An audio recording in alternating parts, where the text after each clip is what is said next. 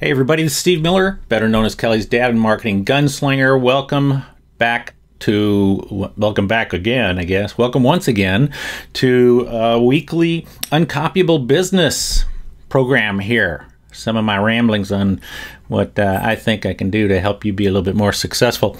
Um, before I get into this week's topic, uh, I just want to give a shout out, give a reminder to you that if you are not familiar with my new uh, uh, weekly office hours, go back to the email that you received, go to the PS, and click on the link for office hours this week. I, I, I started doing these weekly office hours that are live.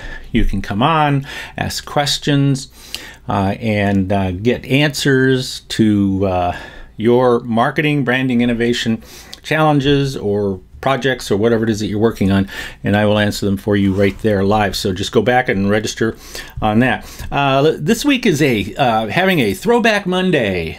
Well, actually, it's not even Monday this week, is it? It's uh, that I'm doing this. I think we had a holiday this week. So, um, but this week's uh, program is sort of a, and I don't, I guess there's no such thing as a throwback Monday. Not really sure. Uh, but recently, my wife uh, pointed out that uh, people really enjoy hearing about the eight track tape player that my dad uh, co-invented with Bill Lear, and um, and I do have a re- a recording that I made a few years ago on YouTube uh, that I tell the story of the eight track, very very quick uh, story about the eight track, and a very big business lesson that I learned observing what happened to the 8 track. So rather than just tell it again, I'm just going to replay. We're going to do a replay of that program. And uh, so here, here you go. You get to watch it. It's not very long, uh, but learn a very, very important lesson about business and about uh, marketing. So let's roll it.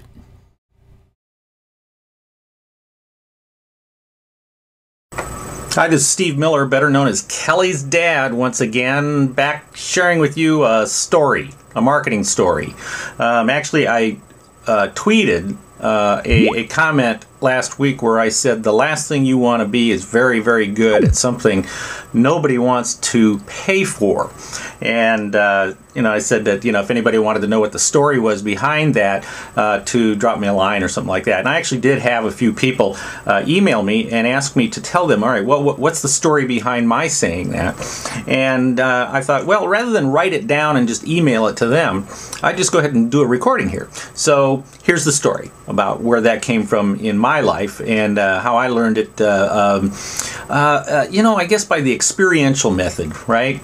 And it all kind of starts with a story about uh, eight track tape players. Okay, yep, eight track tape player. For those of you that are that have no idea what that is, well, look it up in your history book and probably on Wikipedia or something like that. But for those of you that do know the story of my past, you know that my father was uh, the developer of the eight-track tape player. Actually, it was Bill Lear, the founder of Learjet, uh, who came up with the concept of eight-track and put together a team. And my dad was the lead engineer on the team, and they came up with the uh, ultimately came up with the eight-track tape player, uh, and which they were building it uh, for his company called Learjet Stereo. Um, you know, real uh, original name there. Um, but that's not this. The story isn't about how the 8 track got started. The story is how the 8 track ended. That's what the story is. See, the, the 8 track, even though it's, it's very well known, uh, uh, very popular in, in our lexicon, uh, it really had a very short uh, shelf life very short, just a few years.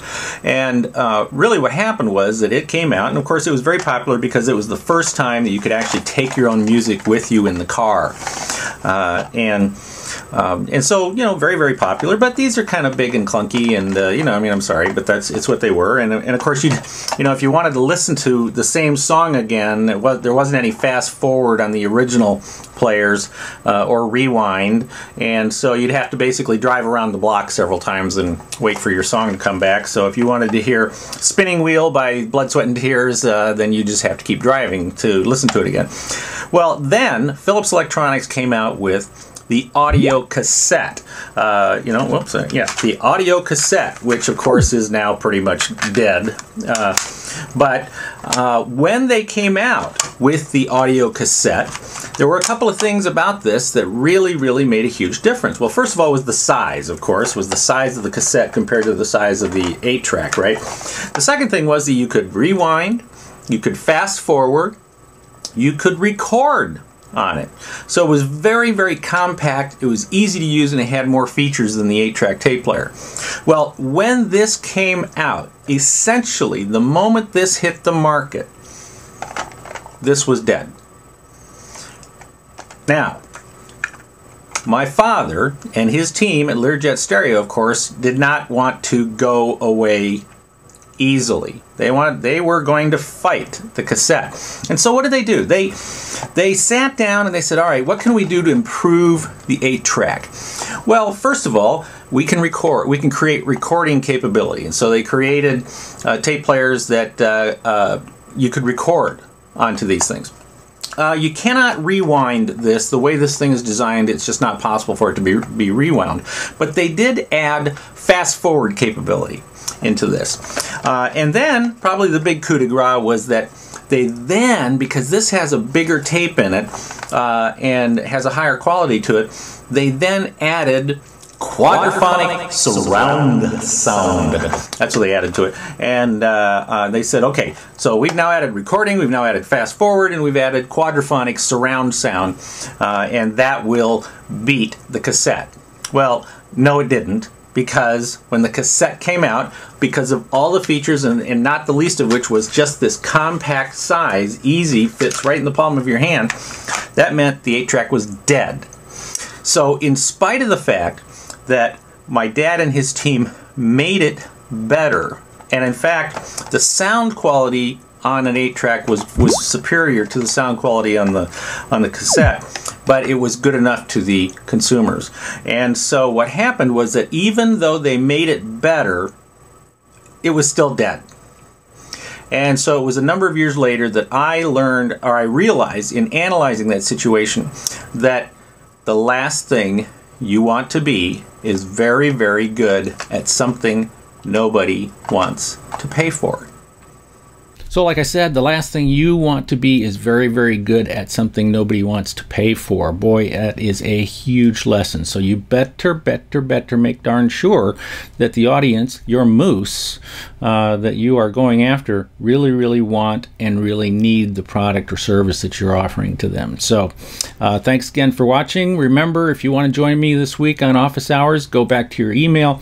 Uh, click on the link in the PS. Register this week. It's all free. You can join me on uh, uh, on office hours this week. Ask me your questions. I'll be happy to answer them for you. This is Steve Miller, better known as Kelly's dad and marketing gunslinger. Thanks again for joining me this week, and I will see you next week. And between now and then, always remember be uncopyable.